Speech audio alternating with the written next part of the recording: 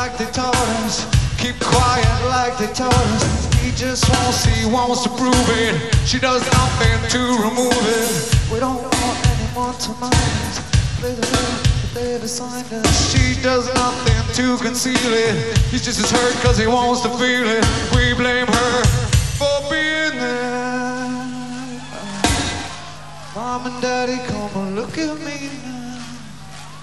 I'm a big man